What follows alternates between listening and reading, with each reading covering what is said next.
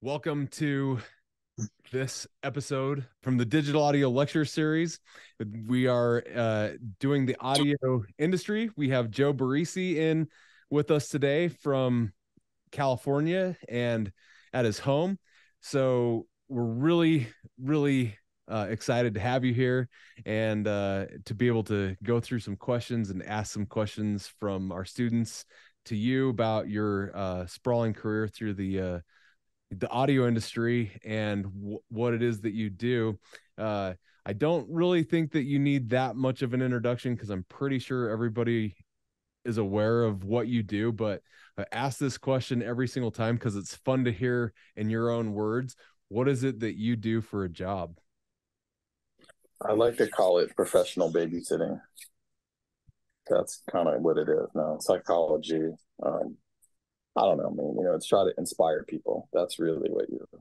I think that's what my job is to try to exude confidence and inspire people. How about that? That's a great answer. So, in this psychology and exuding confidence and performances out of people, how did you decide that this was the career path that you wanted to take? Um, well, I always wanted to be a guitar player in a band. I think that's where you start. And then I had a friend named Mike Little. He was like the killer guitar player in my neighborhood growing up, and he would like be the guy that turned me on to like the cool guitar players like Al Di Meola and Larry Carlton. Um, his band was gonna do an eight-track recording, so I went along and helped lug his gear and sat on the other side of the glass, and that was the first introduction to me to what you know multi-track recording was and and and more so how creative it was on the other side of the glass even though i didn't have to be you know in a room playing i could still be involved in music and and be creative. So that that was kind of the the starting point for me. Okay with that starting point i mean that's pretty similar to how i got started as well but with that starting point how did you start developing skills what was your career path after that point and how long did it take you to get before you didn't grow up in california you're in california now but how long did it take and what was your path up to california? Well i mean even after that i still wanted to be a guitar player so i wanted to come out to california and go to git because all the guitar player magazines that i read you know about GIT and learning how to play guitar, be the ultimate guitar player, or, or just be a better musician, period. So um, at some point, I decided after high school not to go to college, and I worked and played guitar and studied. I wanted to really know more about music theory, so then I started taking. Then I went to college and I started taking music theory classes and playing classical guitar. And um, at some point, a year and a half into the University of South Florida, I decided to not go to GIT, even though I auditioned and got accepted. I decided to go to the University of Miami and study classical guitar with a guy named Juan Mercadal, who was just a phenomenal guitar player. And at the same time, they had a music, um, what do they call it, a music engineering program. So I thought maybe I'd learn some shit about music engineering and play classical guitar and you know at least have some sort of formal education in case my my delusions of grandeur of being a in a rock band or whatever failed which they have. Um so that that was i finished the four year program in three years and then i had the year and a half at usc and then i came out for an aes show and then i basically went home and didn't do my internship never officially graduated. Just said, fuck it, I'm moving to California. And from that point, I'd say it was a good five years of hustling and fixing guitars and working as a tech at a studio because I could take some shit apart and, uh, freelance assisting kind of. I never really wanted to get tied into a studio and just be stuck there. I just wanted to learn as much as I possibly could. I was an avid reader, magazines, books, just information hog, everything that I could possibly do. And it wasn't as easy as, as it is now. I mean, you can, you don't even have to get on the internet. All I have to do is say, you know, I like alkaline water. And before you know it, your targeted ads are alkaline water. So you know, it's crazy. So, but that that's kind of where it came from, and that's where I ended up in California. And at some point, I was working on a record, and somebody fired their engineer, and you're the guy who moves into place, and the rest is here we are. The rest is here we are. You, uh-huh. uh, I mean, right now you have your own studio, Joe's House of Compression. I've been out there. It's a it's a very nice facility. Um, it was uh very just overwhelming being there. Um, you've got equipment stacked everywhere, and you've got a ginormous patch bay. You learned all the processes, not just how to record, but you learned repairs, you've learned modifications, you've learned the wiring. And that you said, is that from that reading or is that you wanting specific knowledge and going and finding a mentor on that specific subject?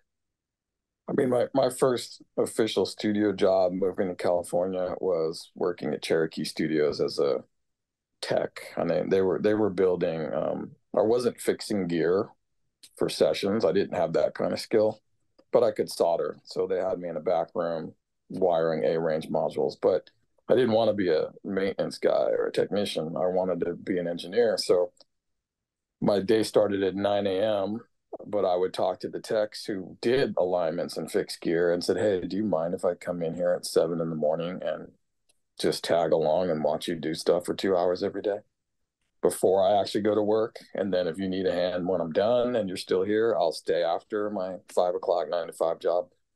And they were totally cool with it. So I, I would literally every day for months get up 6 a.m., drive to Hollywood from wherever I was living, like in LA traffic and basically watch guys online tape machines and fix gear and ask stupid questions. And that's you know it's it's it, it was it wasn't a quote unquote mentorship. It was more like i'm willing to do whatever it takes and i don't have to get paid and i'll stay out of your way if i can just absorb some knowledge and maybe ask you a question later. And that's kind of I mean, honestly, it's not anything that I learned in college, which was kind of fucked up. Excuse my English. I mean, you take a class in engineering and it's a high dollar studio, you know, there's an MCI console and tape machines and gear. And, but it's, you know, it's kind of, it wasn't really like geared towards, hey, this is how to align a tape machine, this is how to record, and this is levels. And it was more like, go for it. Here's your, here's your nine hour block you can book out once a month or whatever. I was using other people's time and just bringing bands in and trying to learn as much as I could. Basically, sleeping as much as I sleep now, four hours a day. You go, go, go, burning it from both ends still, huh? Still doing it, but now it's because my dog wakes up at six. So, got to go get that walk in. Yeah.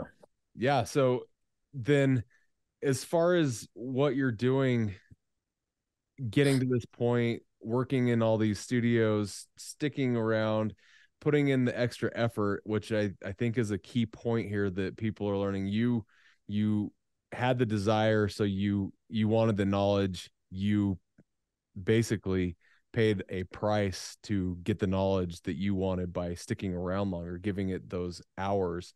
Um what's your least favorite aspect of what you're doing? And then contradict that with some of the the highlights of what you're doing? I mean, honestly, I can't really complain, although I will. I mean, to be able to go to work in shorts and a t-shirt, you know, bring my dog with me, sit around and create music. Like if you think about the global picture of it, it's it's a pretty cush job. It's it's a pretty great thing. I mean, I'm not saving the world or anything, you know. There's no there's no I'm not making any medical breakthroughs over here, but you know, my friend used to laugh and go, "All you do is turn the volume up and down. What kind of job is that?" And I'm like, "I don't know. It's pretty, lucrative." So, you know, um, so I shouldn't complain. But you know, you know, last night it's midnight, and I'm like, know, by the time I get home and feed the animals and go to bed, it's going to be one or two, and then I have to get up at six again and start this all over. And it, you start getting into that seven, eight, nine, ten days in a row thing, and it's the hours are are grueling.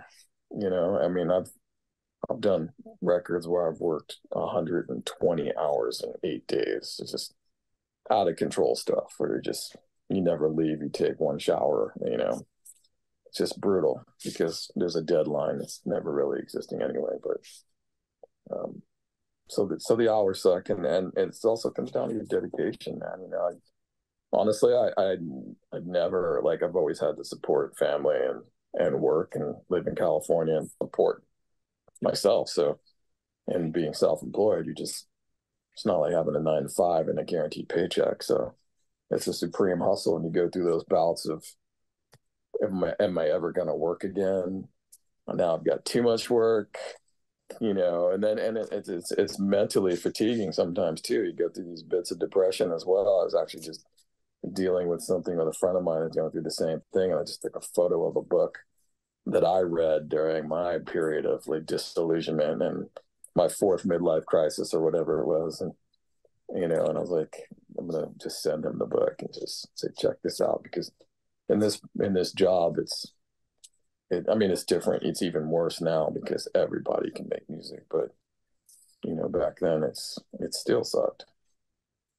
Yeah. So what, what do you do now? Um, to make sure and ensure that you have your personal you know health and and stay mentally clear and focused what what are some of the things that you do outside of audio you know work that help you stay uh with that jubilant vibe of i like working i like doing this well I, I will say the dog is really a savior having the ability to just leave for you know 20 minutes she's still walking five six miles a day which is incredible. So take an hour break in the morning before i go to work and we walk and then you know twice during the day. And, and, and if you're in the middle of an overdub or something it gets a little hairy but usually a band needs a break from me as well. So at some point i'm like hey i gotta walk the dog between two and three or whatever. And so that that does help. I mean you know eating better you know, I've never been into drugs or anything like that, so I don't I don't do any of that stuff. I don't like to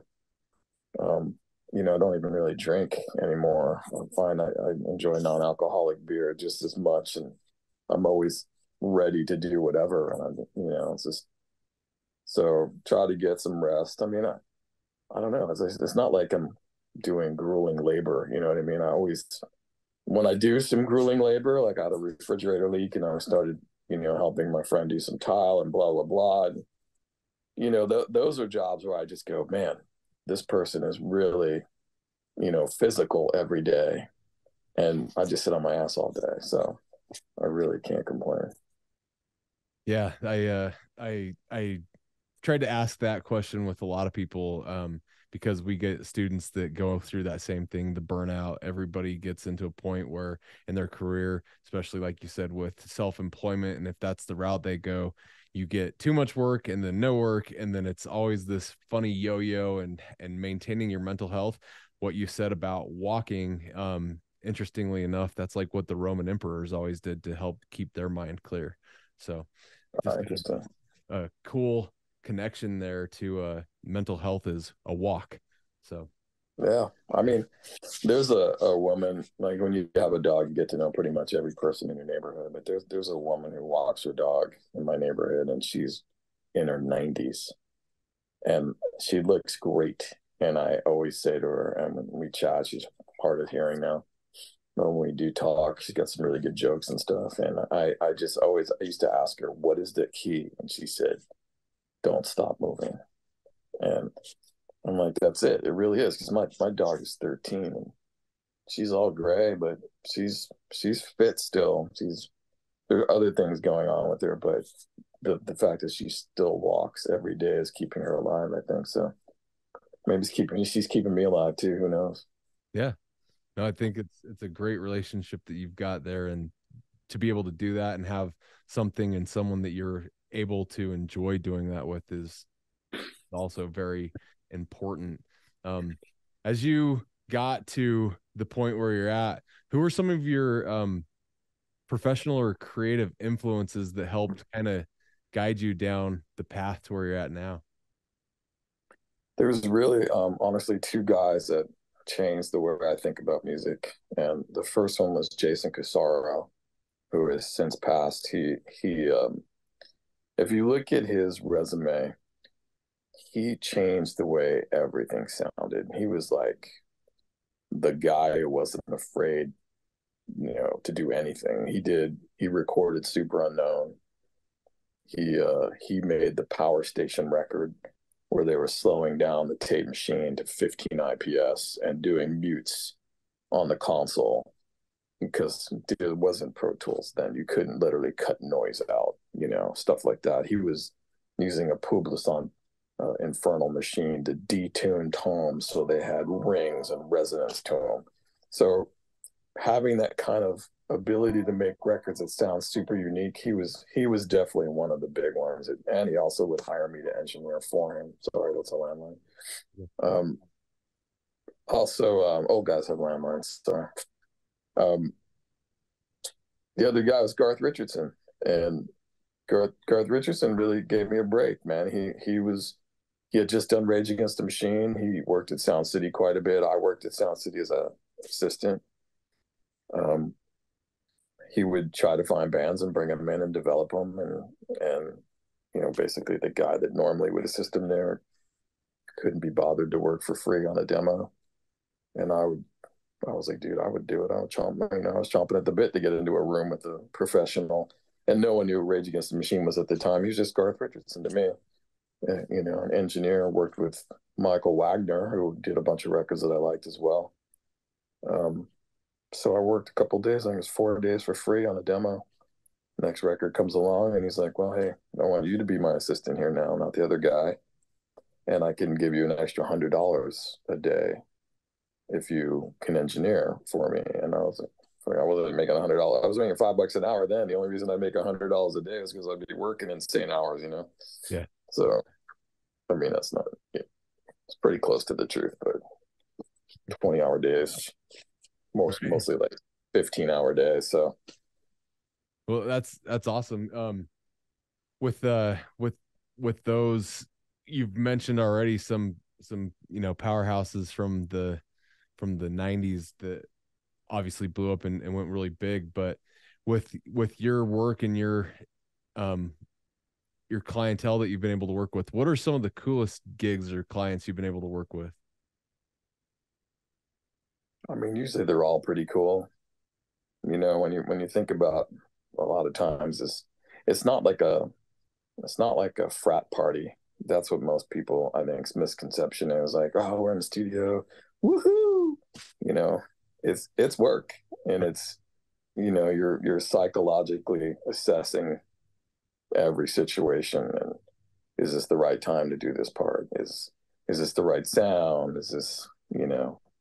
So uh, you know they all start out fun. Usually the faster ones are the funner ones. Because there is no time there is no money. And they're like i got enough time you know enough money for three days. Okay we're making a whole record in three days. Let's do it and those are the ones that turn out better than you think because you didn't really have time to think about it.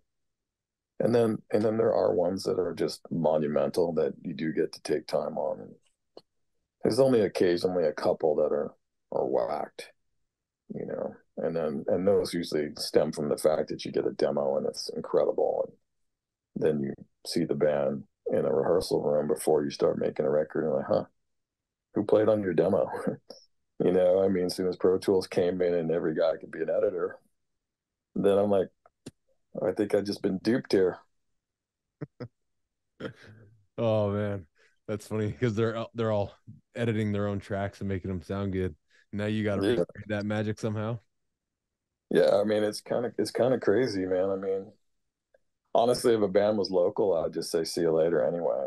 But when a band comes from out of town and they've taking that time to fly to California and work with you, and then you get them in a room and you can't play a bar in time. It's just, what do you do? You at that point, you try to make it the best it can be, or you walk. I mean, you know, it's just at that point. I've walked off a lot of records. I've been fired off a lot of records, so I, it's just the way it is. Volatile. I'm volatile. Yeah, I, have I've told the story a little bit. Be, um, the the first time I met you we and we've talked about it since, but my first recollection hearing your name was from a band called Fair to Midland, and their first album had all this like super delicate, intricate, you know, stuff laid through it. And then uh, the second album, Arrows and Anchors, came out, and it was just this massive wall of sound that was just an assault. And the one track that I brought up in particular was Rikki Tikki Tavi. And I asked, How on earth did you get that performance from Darroh the singer? Uh, and the story, I love it, but would you share that with us? Well, I mean, first of all, I'm going to say that the I'm not fully responsible for the way it sounds. I mean, they were writing heavier stuff, and their demos were really good. Um, but um, it was strenuous um, getting getting a performance, you know, for whatever reason, and he was really kind of stressing out and tearing like like losing hair and stuff like that. It just like you know just made me nervous and um also I you know I'm I'm, I'm not like a, a yes man so when he would do the stuff with his throat which is unique and cool but a lot of times I, you know I didn't get it at the time I was just like you know it's just taking away from what I would grasp onto. So I think when we put that song up he was just so frustrated at that point that he he blasted it out in one take. It was the most insane performance ever. And that was really the turning point. Because like making records a lot of times this the singer gets the the end of the rope. Everybody takes so much longer to make their own parts together and then all of a sudden like hey hey i know there's only two days left but you got to sing 10 songs you know and that that psychological mind fuck of a singer performing that that almost makes it worse because you know they probably could do it but the fact that you're thinking I've got two days to do this or whatever. So um, I like to get them involved earlier, and then we, you know, getting him in there, that really was a turning point and, and got him involved. And um, I mean, they're they were a killer band, man. The bass playing, the keyboard player, the drummer, all of it, man. The guitar player was playing crazy stuff that was like, it was so intricate that I actually made him break the parts down in half. I make him play the low strings in one pass and the high strings on another pass. Because, and I'd never done that before, but I'd never seen a guy who could stretch his hands like, you know, 10 frets before either. I'm right. like, and it wouldn't be perfect every time, but I wanted it to be perfect. So I'm like, let's do the highs, let's do the lows. And had such a great sound too. He was using Naylor amps. They were they were ahead of their time. Honestly, I just think they had a, a bad deal record wise. Yeah. Sometimes, you know, I I mean I still listen to that album when I'm at the gym all the time because that that will pump my adrenaline up pretty high. Like yeah. Rikki Tikki is a great song to squat to. so one take, I just remember looking up at him and going, it was almost like a demon came out of his mouth. It was incredible. And that really was like, you know, at the end of it, there was a little smile. And then I knew he had turned, you know, at that point. There's because you just need you need those little moments where that one little bit of positivity. I mean, a lot of times when you get you know notes when you're mixing and stuff, it's always like this sucks, this sucks, this sucks, this sucks. But if you start off with, hey, this is really good, and then this sucks, this sucks, this sucks, it's never a shitty. You know, you get the psychologically, you know, this is a really good part you're doing here. It's just not quite there yet. That's way better than do it again. Or that sucks do it again or whatever so yeah that's a that's a great story i i've always enjoyed that one because um i remember yeah listening to that when they came out and then when they came through salt lake here and i got to interview them and talk to them about that and then it was like man your sound and they were and, and it was cliff i remember him just looking straight at me and saying it was evil joe Barresi," and i was like who's this evil Joe guy, you know? And and that's when I first like, oh man, he's worked on a lot of stuff I've listened to, but um that was like the you got to go check out who this guy is. And at that point I was like, all right, I need to meet you at some point in my career and talk to you specifically about this. Cuz it was a very interesting point for me, but you've worked on so many albums and every time um I I hear a podcast or read something, everybody talks about, well, we could do all this stuff digitally, but he made us do it analog. Will you talk about the mindset that you get in and how you coach the performers to do stuff and stretch their boundaries in that way? I mean, yeah, I mean it's it's hard to say. I mean, it's not like a pre-planned thing, you know. I mean, sometimes sometimes you put a mic in front of somebody and it comes out and you're like, okay, we're done. And and sometimes it's a bit more challenging. So, I mean, you know, a lot of times it's just getting somebody out of their comfort zone. Like, I remember when I, when I was like, this is a I've told this story before, but when I was working on um, Soundgarden, King Animal, I I had asked Chris to play uh, a solo if he wanted to play a solo on a song, and he's like, "Ah, Kim will be down here in a couple days because the band was on their way down. He'll do it." I'm like, "Okay, cool," but it was a kind of a weird tuning thing, and you know, I was like, "All right." So I came in early the next day, and I put on YouTube, and I had learned to play the Rain song by Zeppelin in an open tuning because it's done and it does it both ways anyway. It's in the open tuning um, I put the guitar in the open tuning on the corner of the couch in the studio, and Chris came in at some point, and um, we're sitting there listening to some music, and he goes, "What's up with that guitar?" You know, and I'm like, "Oh, it's in this weird open G tuning, and then whatever." You know, it's like the Rain song, and I just give him a little snippet of it, and he goes, "Oh yeah, that's pretty cool." Put the guitar down. Next thing you know, the guitar's in his hand.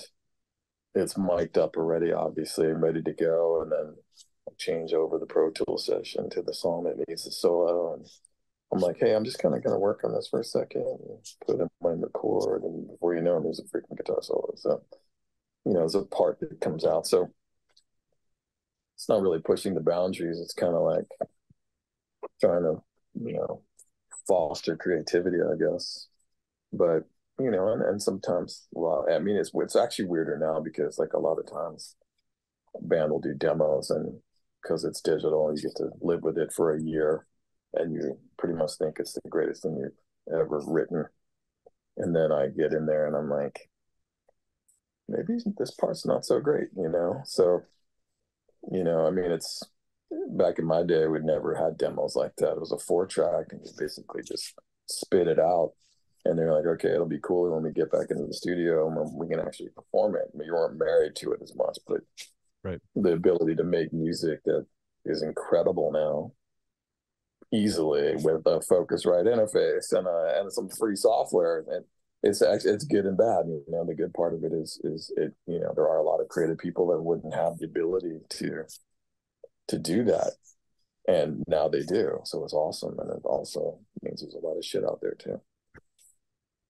Yeah it, um i know in their uh tracks podcast, Avenged Sevenfold talked about the solo cup uh, microphone is what they called it. Uh, they also talked about the uh, headset from the uh, from the uh, military helicopter. You've got a lot of cool different types of mics and things that you use. Um, is that to help people get into mindset? Is that just because yeah. you, let's just try this out? Sure. I mean, like most people would go, okay, I want a filtered vocal. So they go, okay, let's you know, I remember mixing a, a, song for a band and everything was cut on this most expensive U47 microphone, but everything was processed with a plug-in to sound like it was lo-fi. And I'm like, why not just use a fucking lo-fi mic then? I mean, isn't it way cooler to put something kind of shitty sounding that might look cool in front of you that might inspire a performance than you know, that, it just never made sense to me. So when when we were looking for interesting, weird vocal sounds for that record, my friend Keith from uh, he was in a band called Buckcherry He's like a really great guitar player, a friend of mine, and does a lot of recording and production. And he had given me this Pignose PA, and it's basically a speaker with a little microphone that sticks out of it, and they're, they're kind of hard to find. I'm not even really sure where he found it, but he gave it to me, and I'm like, let's check this thing out, man. And it's I plugged Matt into it, and instantly he was like in love with it because it looked cool as hell and it was totally unique.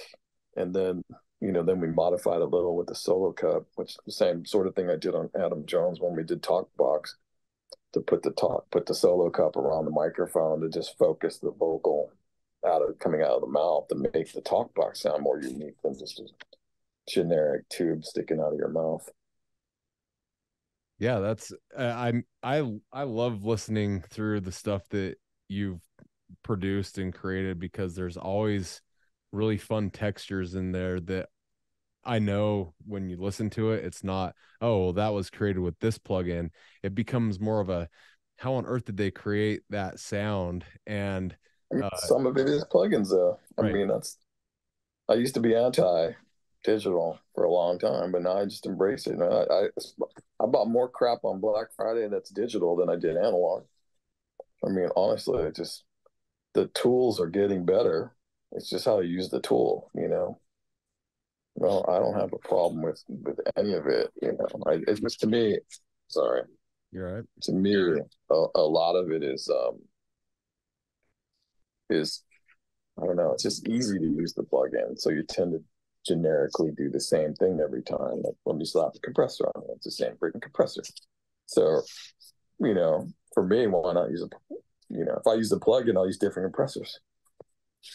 Learn, learn, learn what to do. You know. Yeah. Yeah. Um, with with your with your career, what um, what have you learned like in the school of hard knocks that you could help our students maybe learn and avoid pitfalls uh, that you've been able to work yourself out of?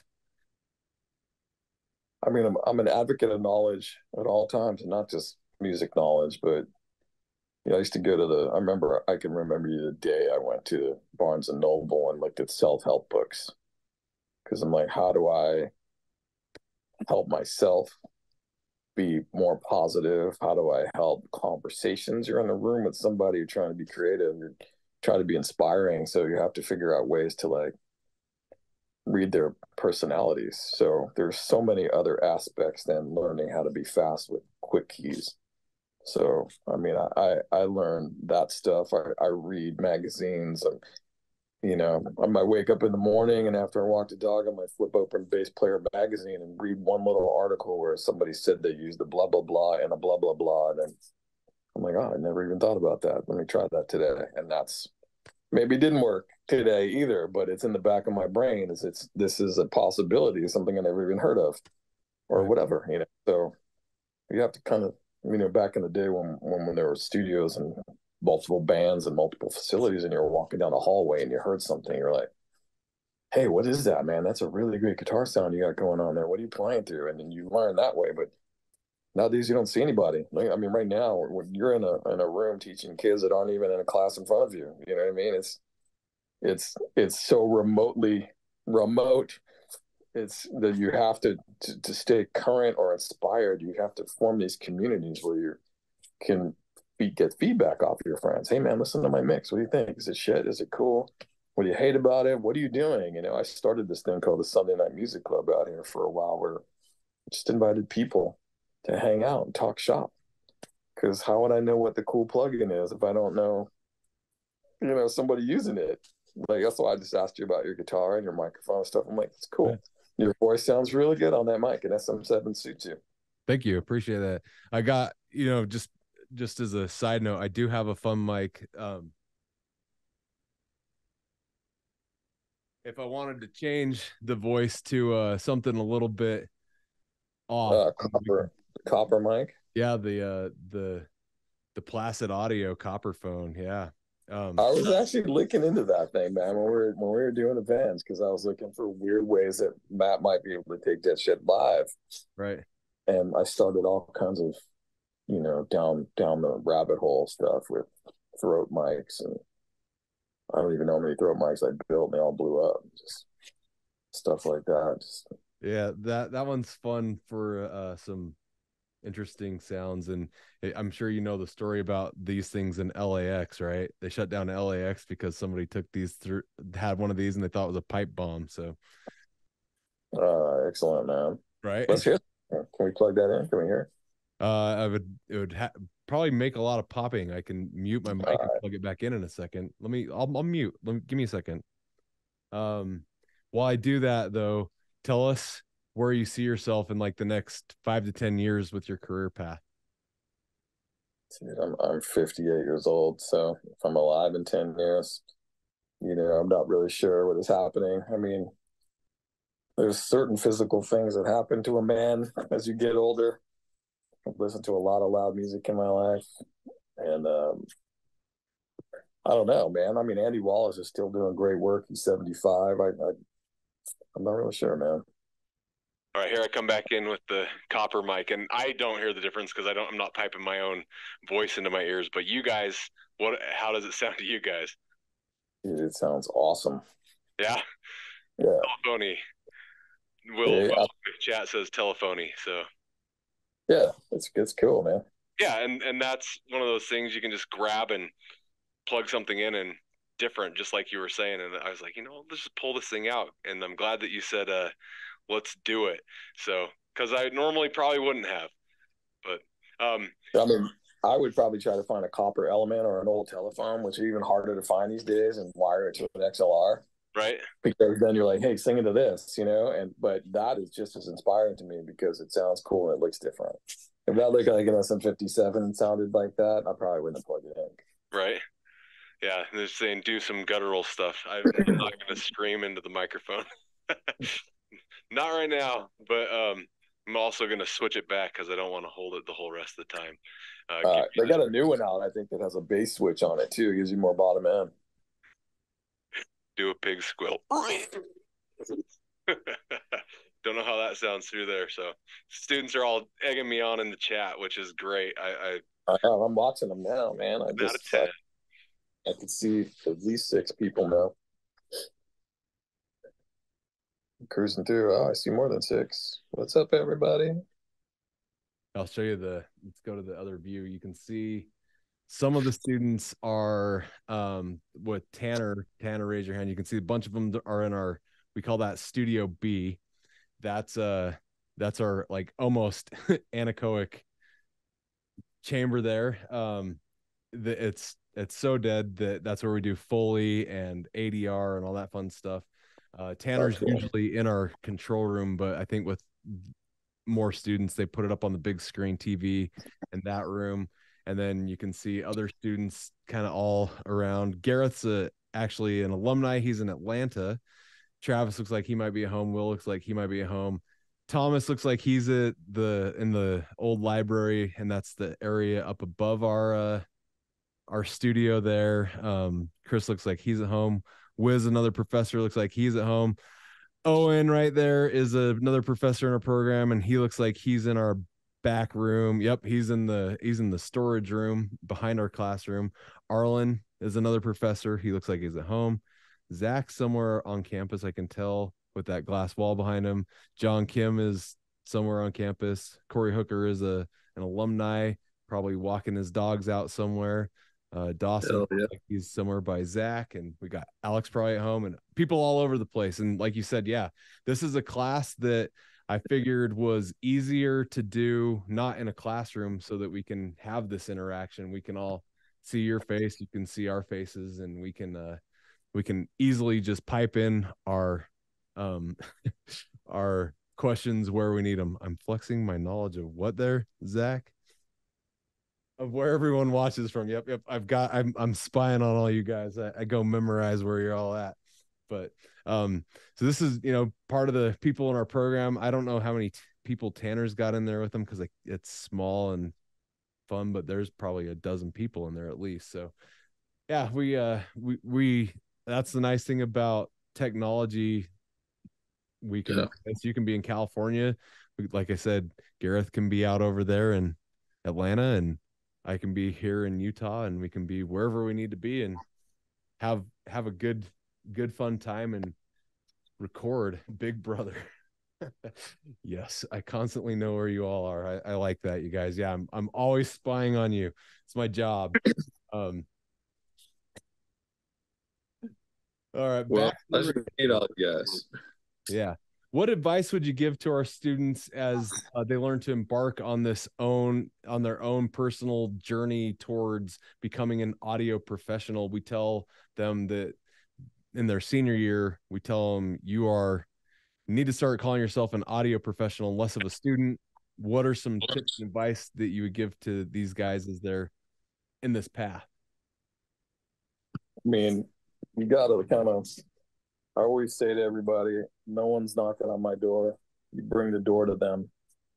So if you're gonna sit on the couch and watch some Netflix with a girlfriend or your wife or whatever partner, and cry that you're not working, then or, you're gonna go to the local club and see a band, and you know do whatever you can, work work free in a local studio, or whatever. I mean, you really do have to make your own path happen. No one's no one's knocking on my door. No one ever knocked on my door.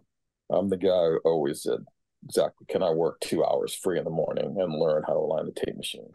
Blah blah blah. Can I go to repair guitars at a guitar store so I can learn more about the instrument, which you know made it so that I could intonate and repair guitars when you're making guitar, you know, doing guitar parts in a session. So um, you know, things like that. It's just do 100% at all times. Very, very quick lesson here. A friend of mine, um, at one point, you know, um, took a job and and it wasn't quite the money that he was used to making. And I walked into the studio just to go check up on him, and um, and he's in the lounge playing video games. And I'm like, "So what are you doing?" He's like, "Well, you know, I got half the money, so I'm kind of doing half the work." And I'm like, really? So now you're making me look like an asshole for recommending you, and you're never going to get hired again, and you're never going to get hired from any of those people they're talking to. So, so do do the job 100 percent, regardless if you ask for a dollar or a million dollars. I love that. That's great. That's such. I don't think there's any better advice that anybody could give than that because you never know where people are going to go. You never know where word of mouth gets you. And we talk a lot uh, this semester about the power of the network and yeah. through the power of the network. I met you. Uh, it's through the. Yeah, I mean, this is this isn't a hospital. You know, I was going, hey, this is a world renowned surgeon. This is a guy that fucking turns faders up and down. Who gives a shit, really? But if they enjoyed working with you, well, I'm I'm going to turn the time over now to our students uh, and to anybody else that might have questions for you, and let them kind of run the. And of course, hands go up right away, and that's great. Let them kind of run some questions to you. Uh, John, you your hand was up first, so go ahead and ask your question. You're muted, John. Thanks. Can you guys hear me? Okay. Yep. I can hear you. Hi, Hi Joe. Um, there was a, I'm doing good, man. Thanks for asking. Um, there was an article you were interviewed for about 15 years ago with Sound on Sound. And uh, in the article, you mentioned that you like to set up three room mics when you're tracking drums, uh, one a stereo pair and one in mono. I was curious how you use uh, the three uh, tracks you get from that. Um, well, the, I mean, that's a good question. So sometimes it's more. It's usually at least three. But you know, when you're when you're mixing, a lot of times it's interesting if you have that stereo room going. You, you might not want stereo room the whole time. Maybe in a verse where something gets kind of stripped down, you're pushing up that stereo room where you can hear it. But maybe when the chorus gets bigger and fatter, you don't want a stereo room anymore. Maybe you want a mono room, or maybe you want to push those rooms in your mix to create some excitement. So that's that they're kind of like, especially with the digital realm now, where there's no, you know, limit to tracks.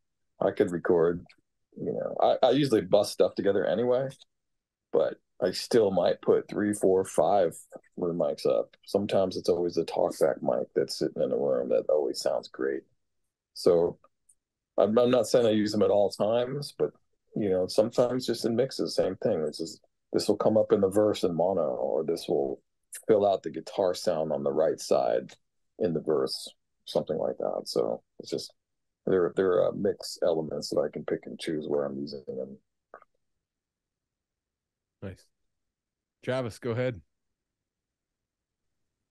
Hello. What's Hi. up, um, man? Oh, just you know, living the dream. Uh I call it living the lie. That's my living that's the lie. Nice. Yeah. I I usually follow that up with nightmares or dreams too, but you know that's fine.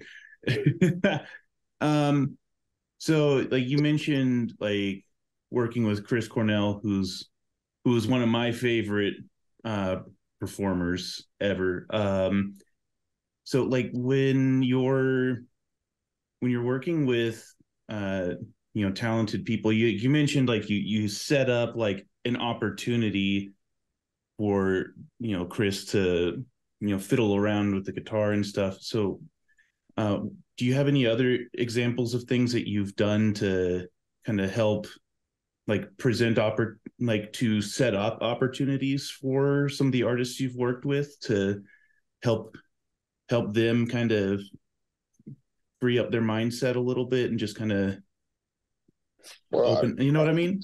Yeah yeah. So so here's an example um you know like working at studios that don't feel like you're in a hospital are is the first key. Like my studio is like my bedroom when i was 17 you know there's pictures on the wall there's shit everywhere. If you feel like you're gonna you know here's here's another example. So right well i'll continue on that one first. So like going to sound city. Sound city is like a glorified rehearsal room. I think in the movie i said you can shit in the corner and no one would complain that that is an actual i mean it's not something you'd want to do and it would be frowned on but the, the the the fact is that it's comfortable when you work there you know you never felt like oh my god i'm paying so so much money and if i don't perform today or get a part then I've just wasted that money. And then there are places where you go put down your Coca Cola and somebody's behind you with a little mop, and they're like, you know, and then you feel like you can't do anything. So,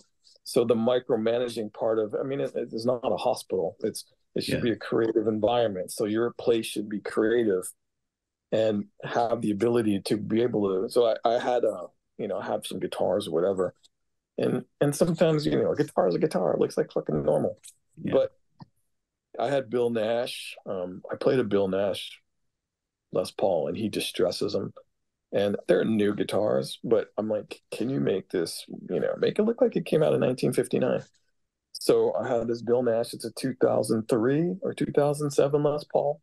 It's maybe a $2,000 guitar that he distressed and made it look like repainted it or antiqued it and made it look badass. It looks like uh, literally looks like it's from 1959. And I put it in there, and people see it, and they're like, "Oh my god, this thing looks incredible! It's so old." And and then when they finally play guitar part, I'm just like, "Hey, they thing came like 20 years ago." You know what I mean? It's it's not old at all. So yeah, inspire somebody. You know, that's another example of, of inspiration. Yeah. Um, you know, building a pipe bomb mic, stuff like that is just, you know, it, it sucked. I built it for Maynard and it sucked. It just didn't work on vocals. Didn't have enough output. But I threw it in front of a guitar amp, and I'm like, "Fuck, it's kind of cool." So filtered guitar sound like that Placid Audio microphone, and you know, it's it's way cooler than uh, going, "Hey, let me, you know, EQ the shit out of this SM57 to make it sound like this." So, you know, fine. One man's trash is another man's treasure. I got lots of trash, and just sometimes you just put up a weird ass speaker and it sounds different. You know, yeah. Sick. Awesome. Thank you so much, Joe. All right, you're welcome. Yeah. Uh, let's get um, I don't know whose hands are up first. We'll go Will, Gareth, and then Chris. I'm scrolling to find who's who here. Uh, there's Will. All right. Yeah. Hi, Joe. Nice to meet you. Good to meet you. Uh, so your studio is called the House of Compression, right? Yes. Um, so I was just gonna kind of ask maybe some general tips and then more specific stuff about compression uh, what's your secret sauce depending on genre? You know, less is more, or do you slam stuff? How much do you do individual track versus bus based once you get to your final mix? I mean, honestly, I always say the fader is the poor man's compressor. You know what I mean? I would do that. I would ride a vocal before I squeeze the shit out of it. I find there's, I mean, I'm not a compression uh, addict. People ask me how much how much compression I use when I'm recording drums. I'll bust two kick drum mics together and put a little compressor together or two snare mics together and and the room mics. The toms are never compressed, the overheads are never compressed, guitars are never compressed. They're already compressed enough coming out of the guitar amp. So it really isn't. I mean, it's kind of a a, a, a, a false sense of idle house of compression. Just happened to be one of those things. But but honestly, I mean, I, I really love the SSL compressor. So in my like my mixing classes and stuff, I always have it buried as far as threshold goes, but it's on the smallest ratio possible. So what it does is just brings the sound a little bit forward. And um, it's just uh, to me, it's just because the SSL, every compressor has a sound. So once you learn what they sound like, you might not even use it to be a compressor. You might just use it to be the sound. So some things do get pummeled. Usually you try to unpummel them later on. You can always repummel, but you can't unpummel. So I would say a little goes a long way, and and a lot of things is you know don't be afraid of it though. Like getting people's tracks to mix where they're afraid of compression on a vocal, and then I have to sit here and listen to it and try to like put triple compressors on it to try to make it normal. Like sometimes you're better off learning you've gone too far, and then you learn how to back it off, and and sometimes compression helps the performance I mean, if a singer can't hear themselves in their headphones, then you need to compress more. You know, if they're a dynamic, or you have to figure out, hey, let's cut it in sections. Let's cut the soft stuff. let change the preamp level or the mic level. Back in the day, with a really good singer, you could just ride the vocal level and it would be done. That's poor man's compressor. That's all I got. Awesome. Thank you. You're welcome. Go ahead, Gareth. Hey Joe, thanks for taking time out of your day to to talk with us. Thank you guys too. Um, question I got for you. I'm, I'm going to ask you about Pinkerton, and I, I'm sure a lot of people always ask you about Pinkerton. but um, my question is kind of what's your approach to embracing like a uniqueness of, of quality or sound when you're working on a project? Um, you know, sonically speaking, Pinkerton is really like the Weezer album. Like, I mean, it's wedged between Blue Album and Green Album, which both of which you would be considered. They, they sound, yeah, they sound great. Pinkerton is like kind of not great, although it is like it has that quality, and we love it. And, and at the time when Pinkerton came out, I believe it it like wasn't super received really well but now in hindsight everyone's like pinkerton is so awesome and it has this live feel. At the time when you were engineering that uh you know did it did it sound awesome at the time? Uh how, do you how did you yeah i guess what's your approach to just embracing like we're gonna do this and well you know?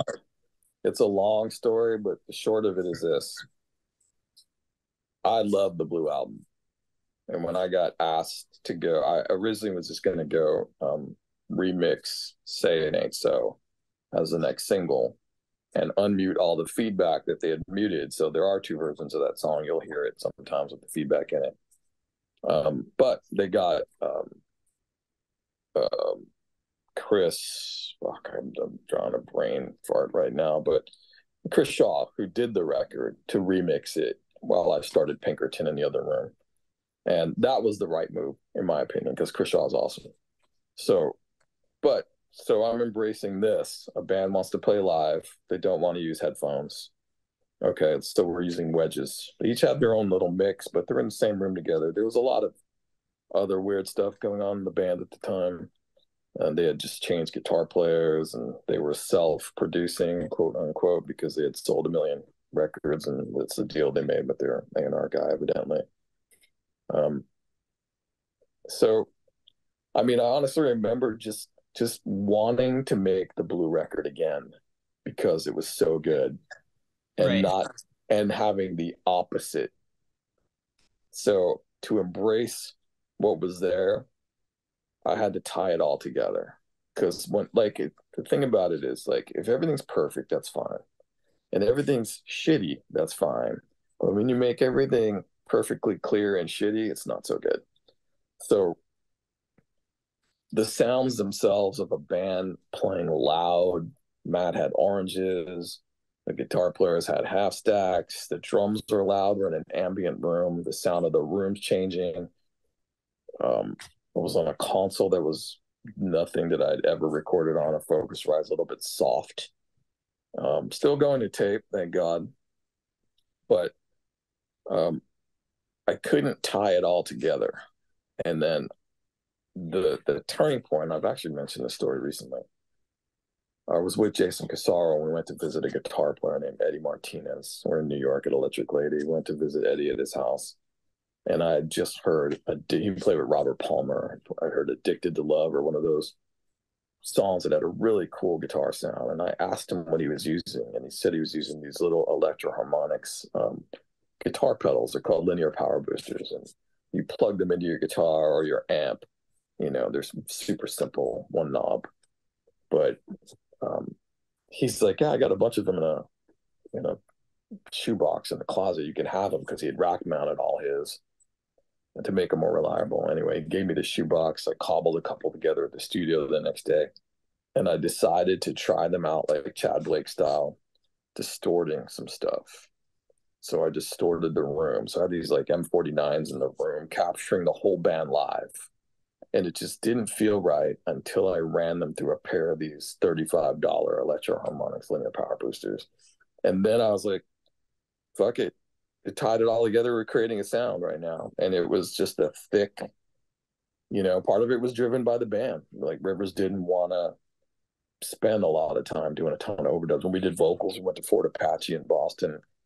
Um, we were doing vocals live. I mean i set all three of them up in a triangle you know matt brian and rivers and they sang together like old Eagles records, you know, where they would harmonize to each other. Only I had a, a little bit more control. Three three microphones, three guys, but the null point of the, the mic facing the other guys. But you're still hearing it. So if somebody hit a bad note, I couldn't just punch in one microphone. I'd have to punch in all three, which was kind of cool because then they'd have to play live. Like when you're punching in drums and the band has to play live. It's it's interesting. So I mean, honestly, it, it you embrace it, you make it the best it can possibly be under those circumstances, and you try to push it in areas where it's still musical, and it was very musical. It just it was obviously a disappointment. It was it was, and if I was a Blue Record fan and I heard Pinkerton, I'd be like, "What is this shit?"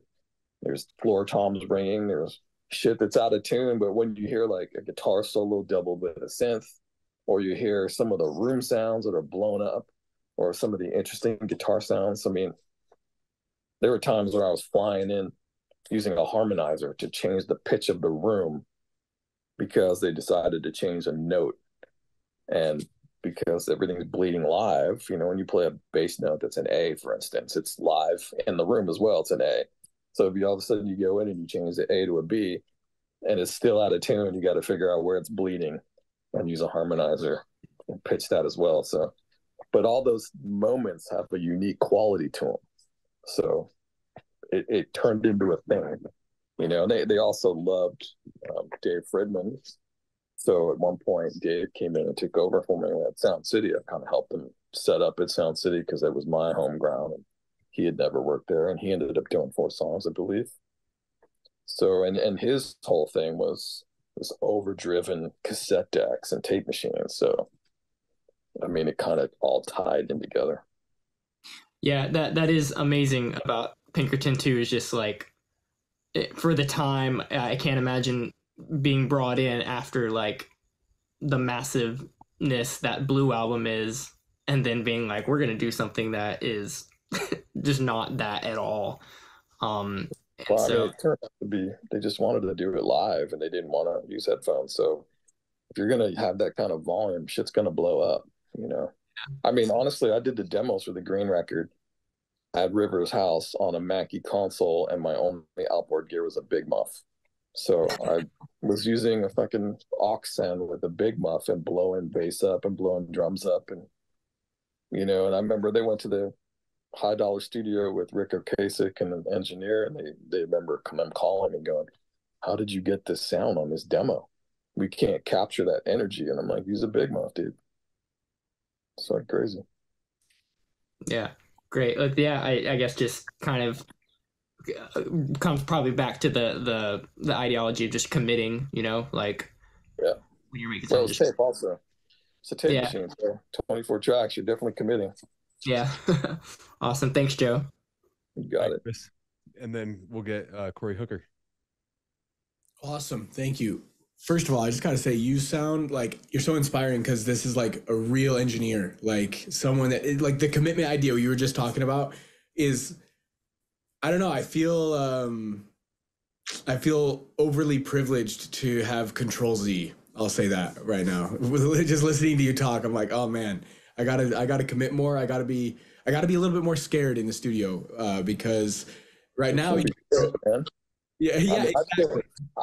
I, still, put two two two drum mics on one track. I mean, somebody asked me that the other day. I was like, "What are you talking about, man?" I, you put the snare top and bottom on the same track. I'm like, "Yeah, it's a fucking snare." Like, you bust them together, man, and compress it a little yeah. bit. EQ it. It's a snare. I'm miking this. Why do I need separate control of two of them? I, I can't honestly get that past my brain. I can't, I can't like do, I can't put an inside and an outside kick mic. I just still cannot grasp this the kick mic. No, I gotta put it together. That's a kick. Well, and it totally makes sense. Like everything you're talking about is just like, man, I, I, don't know. I think about this so much more engineering based, and I, I love that. But really, I've got two kind of short questions uh, one is, you know, you, you mentioned Black Friday and it's the week after. So all of us at school have been talking to each other about the plugins that we bought. It's becoming kind of a, a pseudo tradition among uh, musicians to just like spend all our money on plugins and uh, be poor for a week or two. But I got to ask you what you bought this on Black Friday. What was the plugins? What were you excited about? um, there's a, a company called Relab. Do you know those guys? I'm looking They're, them up right now they make a bunch of different reverbs. They make a, a really interesting Sonsig reverb that's cool. It had a Quantec room simulator thing in it. Um, the the one that they they make a 480. I have a 480. I don't necessarily use it. Um, but they make one called the VRS. That's like a, a TC thing, and and it's awesome. And in the back of my brain, I always remember how awesome it is. And th- this year they came out with uh, a Quantec Room Simulator plugin, which is pretty cool, pretty realistic digital incarnation of rooms. And they also came up with a, a Maselec stereo bus EQ, and it is fucking really good. Um, I always look at a digital version of something that in case my outboard gear dies, I have a, a fallout. You know, I, I have two of everything. I try to have two of everything, but not everything's exact. It's sometimes it's nice to have that the Maselec is really good. Put that on your mix. It's it's pretty tasty. So I did buy those and uh, I ended up buying something else recently. I don't I don't honestly remember. It was like maybe twenty nine bucks or something. I mean, the the other two guys were a little more expensive, but they're they're worth it.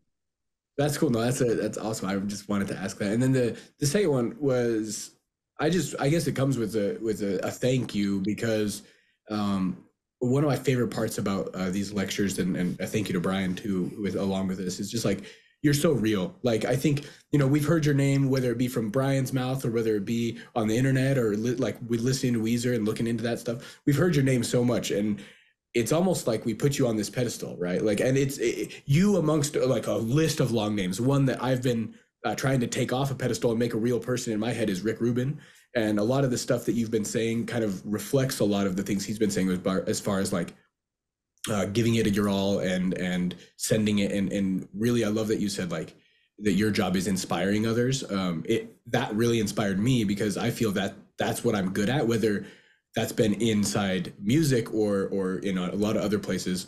Um, so it makes me excited to continue to work in this space and, and focus on inspiring others. But point being, I love that you were super real with us. And one thing that made you a really real human to me today was that you talked about your fourth or fifth midlife crisis.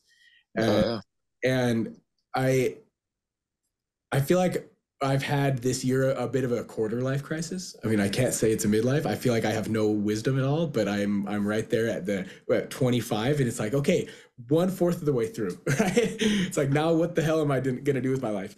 And it's like wait, wait a second. You're only a quarter of the way through. like you don't have to know the answer. But the point being, um, is there something, and this might not really exist. The answer to this question might not exist. But I wanted to ask, um, it seems, you know, you obviously have a lot of experience coming out of those. Um, is there something that's been similar in every upswing of your life? Something that you can like, okay, if if shit's hitting the fan right now and things are going hard, I'm going to go back to these things. I know you mentioned like self-help books. I'm I've read a ton. I love um, uh, you know thinking books. But like, is there something uh, in your life that you can kind of fall back on, and you're like, when stuff's going hard, what do you do? I mean, I always remember it's like a sine wave. Sometimes you're riding the peak, sometimes you're in the trough, but the trough always comes back to a peak. You know, it's it's hard to see it.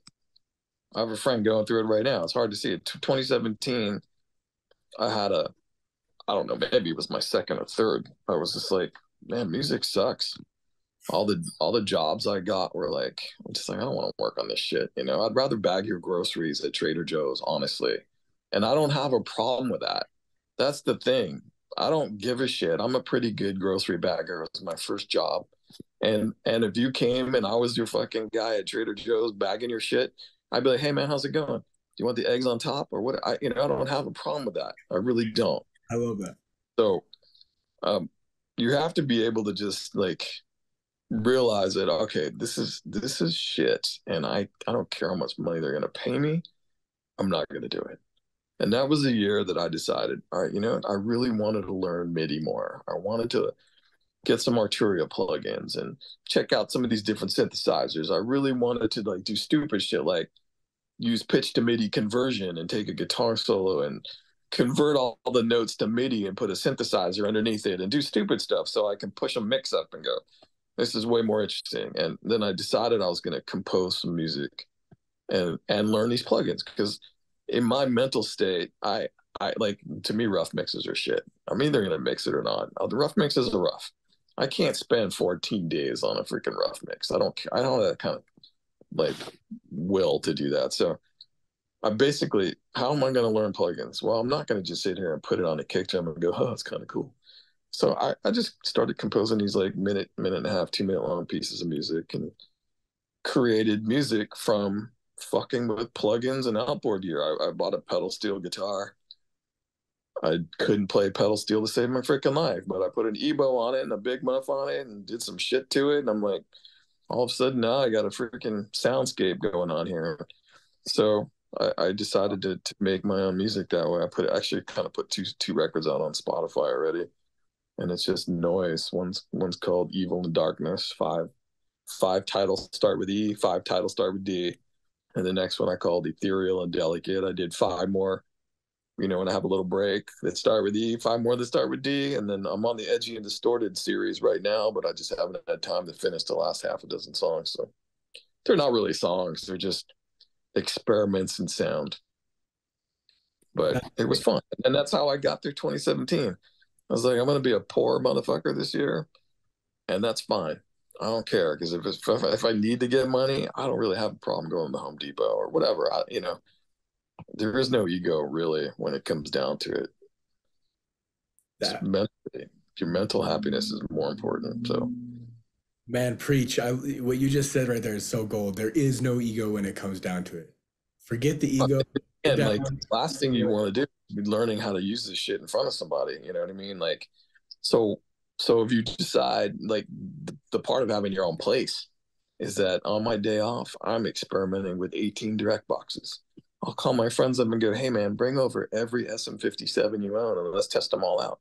And we'll just reamp signals through and just test shit out in the most scientific of ways so you can learn, hey, the SM7 is way better than the SM7B or the SM7A or whatever, you know, just stupid shit.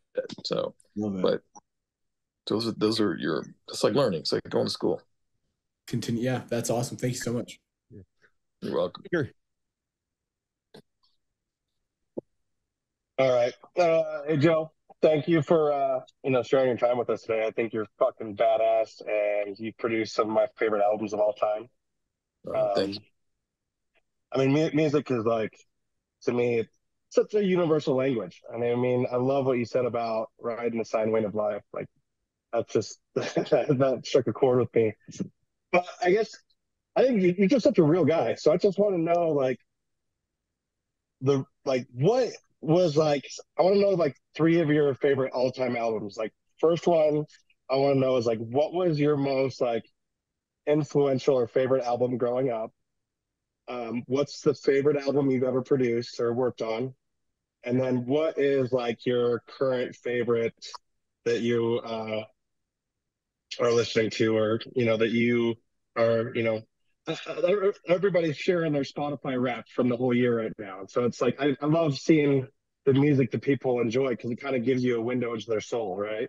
So I'm just kind of curious, like what your favorite album growing up is, what the, your favorite work is, and then just like what's your favorite album right now. All right. Well, I mean, growing up, I was really into the, the Beatles and the Stones, but the most influential record to me growing up was the first Boston record, and that that's probably the reason I started doing this, because I was walking the tightrope of wanting to be a musician or wanting a real job.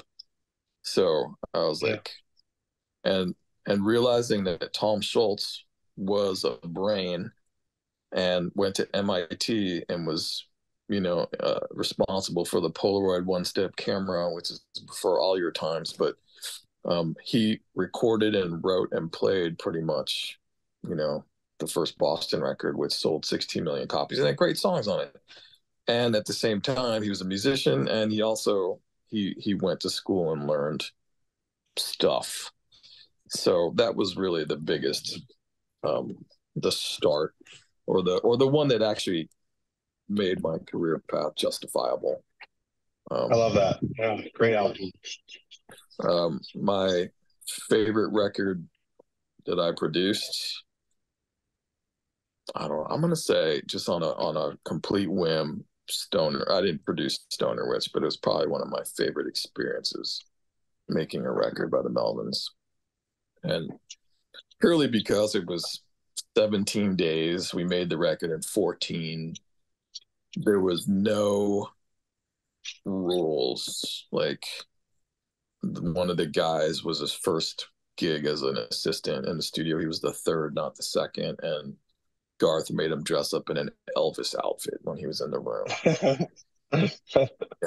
So that so there's this guy who was, you know, a super nice kid, very quiet, but he's dressed as Elvis the whole time. And that's hilarious. Stuff like every time you'd walk into the room, the door would creak.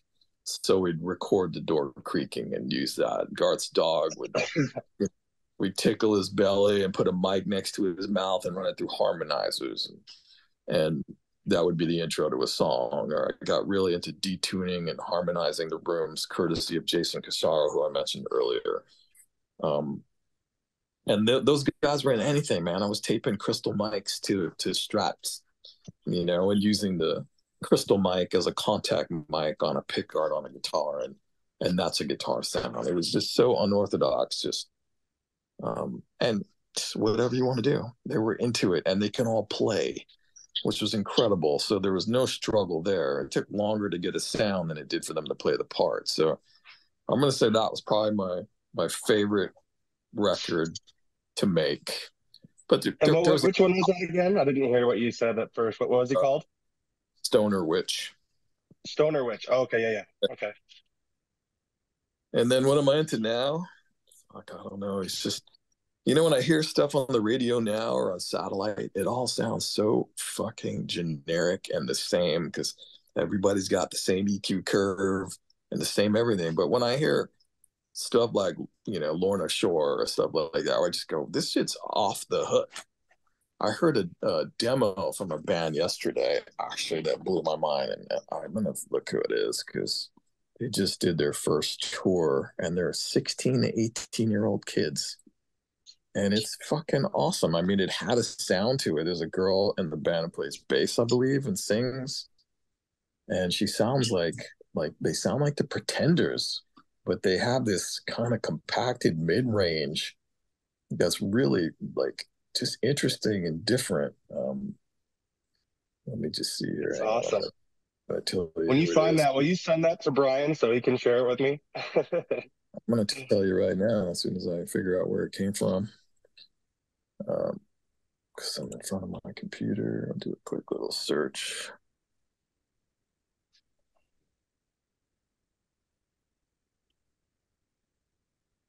Uh, yes, coming from him. The band's called Speed of Light. Speed of Light. Yeah, it's just speedoflight.com, speedoflightband.com, but man, I, I, mean, they have barely played any shows. They she just opened up for Bad Religion evidently. I just found out about this yesterday, and he goes, "Hey, man, they're looking for some feedback," and I'm like, "I'll listen to it." I go, "It's unique. It sounds cool, man." And they're they can play three piece, and the boat there's like I don't know if it's two brothers that look similar to me. and the girl, and then and sounds like more than one person sings. I've not seen them live. There is a YouTube clip somewhere that of their first full set, um, their ninth show ever on their first U.S. tour opening for Bad Religion. But it was it was pretty damn cool, man. I mean, it's you know I, I like stuff. It's just a little left to center. Um. So yeah, I don't. I mean, the new Baroness record that I worked on is those guys live. Like it's inspiring to see a band that can play and pull it off and have sounds that are incredible and still love audio. You know, they just it's not just about uh, getting up and just jamming. It's it's really you know thought out sounds. They they did a great job recording themselves on that record. It's incredible, actually. Awesome. Thank you for sharing that. Uh, let's go to Tanner's and then we'll get John's question. Yeah, I was gonna say if it's somebody else in with Tanner, then come all the way up to the mic so that we can make sure we hear you. Howdy, can you hear me? I can. Rock and roll. Um, I just have kind of a personal question. You've made it through the industry. Um, I think it can kind of, at least I see it to be, it can kind of be a little bit of a pretentious industry. Um, how did you navigate through all that pretentiousness? I mean, you know, like how did you like just positive and just like you seem to have done that pretty well. So. I'm not always positive, man. I, I'm pretty much I, I, you know, I live in LA, but I like to say I'm from New York because that's where I did grow up a lot. And um, in New York, if somebody sucks, you pretty much go, "Hey, man, you suck." And in LA, you kind of go, "Hey, I love you, dude." And then when they turn their back, you go, "That guy sucks." So I've never been that guy, even though I live here. I I'm pretty much I'm a straight shooter, and I think that's how you. I mean, the only thing you're gonna have, honestly, is your integrity. So you can't you can't you know you you have control of your own integrity. No one takes that away from you. You're either gonna bend over and be a doormat, or or you're gonna go, no, I'm not gonna do that. And I've always been like that, man. I mean, turn the vocal up, okay? Turn the vocal up more. Dude, I don't even hear the band anymore. Okay, and it uh, well, I want the vocal up more, and I'm and I'm paying you. I'm like, go fuck yourself, pay somebody else. That's just me. That's I've always been like that. So it gets you in trouble. I'm not saying tell everybody to go fuck themselves, but saying if the situation arises and you need to, just fucking don't even think twice about it. Just have to be willing to do it. Thank you. All right, John, go ahead. All right. Um, were there any like uh, things you did uh, career wise, you know, as a self employed engineer, where you were like, man, I am so grateful I did that? Or something you didn't do, it's like, man, I so wish I had done that. I don't know. I think if you go through life thinking about regrets, you're gonna just be a miserable bastard anyway. So I, my only real regret is not having a, you know, not taking time to have a significant other and you know i love kids and stuff i've lived my life through other people's i'm an uncle to everybody else's kid but um but i've always had to hustle to support so that that's the only regret i really have is not you know learning that part of fulfillment but um yeah i mean it's i don't know honestly i just I don't really have any other regrets, you know, just not really sure how to even respond to that. Sorry, man. It's just uh, you know. All good. I'm the miserable type, so it's my bad. well, yeah, I mean, I you know, like like do you if you want to hang out with a person in a studio for 12 hours, you know, do you want somebody to be a miserable bastard or do you want them to be uplifting? But I also don't like the yes man. Like, you know, you know a yes man. Hey man, that's a great great jacket you're wearing, you know, whatever. Oh, that that's a really cool part, man. And, and people see through that shit too. And if it's you know, if it's not good, then why? I mean, this is not this is not brain surgery. No one's dying over a shitty mix, but at the same time, it's if it's something that you don't believe in or something that you think could be better. I always tell bands the same thing, man. You just try to make it you know, I might it might be the greatest idea you ever had or the worst idea I ever had. I'm like, let's just try it. It might lead to something else, you know. And most bands are cool with trying stuff. And there are a couple that are just like, no fucking way, I'm never doing that. And usually those are not the people you surround yourself with. Uh, you you shared a story when I was down at your um studio about uh the commuting to Costa Mesa for that life is but a dream and how the guys in Avenged Sevenfold came up to your studio all the time and you were going down there and what was their demeanor coming up to you all the time and then you you caught yourself? I think this is a there's a great lesson to be learned in this. Those dudes drove hours every day and not one day did they ever complain about traffic or have like a you know a frown or anything. They, they were always like we're here let's do it and i drove to costa mesa and it would be like 55 miles and in la might take two hours. And and just go what the fuck man? This traffic is you know and that my my demeanor was mr miserable and their demeanor was the opposite and and that that's a good lesson. Yeah no and and just because john i think that helps uh kind of paraphrase that. He said that like you you get in la you sit on the freeway because you're not moving very much you sit on that freeway and you you gruel out to places and they're just excited to be in the studio and create their craft. And so there is the attitude like being grateful for what you're able to be able to do helps. And i think gratitude will always help you find a way to say, you know, avoiding regret is when you look yeah. at regret too hard, you, are going to get depressed, right? But if you can be gr- grateful and gratitude towards the things that you have, you're going to avoid that pr- pitfall.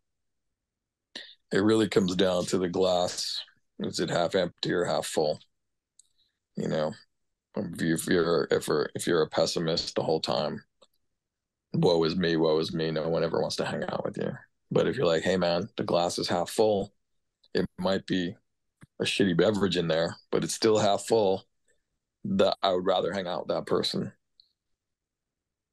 Yeah. Gareth, you got your hand up again. Go ahead. Yeah, a question came up that Joe, you kind of just hinted on, um, and I wanted to see if there was a little more uh, insight on something that you said. Um, something that I struggle with as a producer when I'm working with artists here in Atlanta um, is how do you how do you approach situations when you have a disagreement between like your taste on something and then the artist? If the artist is like i think this thing is really cool and you're like i think this kind of sucks. Like who how do you kind of duke it out with the artist who who gets the final word or how do you move on from there when you kind of get stuck on a, a thing like that? I mean how how important is it to go fight for ultimately? You know i mean it's it is their their art and your help creating it. And so if somebody goes well i really like my vocal line and i'm like well i think you can hit it better and they try to hit it better and it doesn't get better then yeah then we're cool. You know i mean in the end it's like i said it's not it's not brain surgery. No one's dying off of any of this stuff. It's just it's another interpretation. So but there are there are records that I've worked on where I'm just like, I'm obviously the wrong guy for this, and I'm out of here. And I'm willing to just go, here's your money, see you later, take my name off it, whatever I got to do. This is not anything that I would like to be affiliated with or associated with. And you have to be willing to do that because in the end, you're creating it's you're creating a body of work that other people are going to hear and maybe hire you to do other work. You know, you write a book somebody buys your book it's a bestseller they go oh i gotta fucking hire this guy to write another book it doesn't really work that way in the, in the book department but this is sort of what we're doing i mean realistically um so you have to have a body of work you have to be proud of i mean and whether whether it be whatever genre of music if you're into all kinds of genres of music then then you you do the best you can in every genre of music but for me it's always been pretty um pretty focused.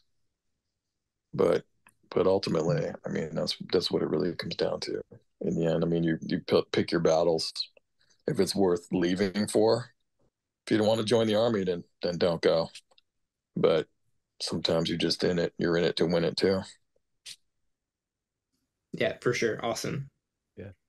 I think that's great advice. I think that we've picked up a lot of really uh, unique perspectives, and we've gotten to see the demeanor and character of who you are, Joe. And we really appreciate your time. We know that you're busy and you got to get off to work for the rest of the day. Um, but uh, we, let me see if I got any positive mixed notes here. Hang on, I'm going to tell you if I got any positive mixed notes or shitty right. ones. We're gonna. This we're is where it comes down to. You know, in the end, you're like, am I gonna?